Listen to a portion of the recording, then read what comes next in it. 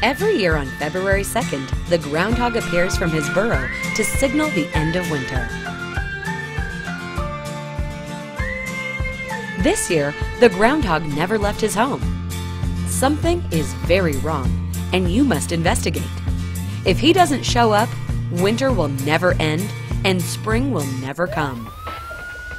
Hey, stop right there! What are you doing in this crime scene? You show the officer your badge and ask to help. He explains the groundhog has been kidnapped.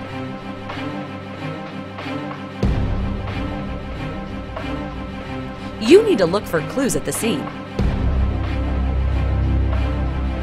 Track the kidnappers and locate the groundhog.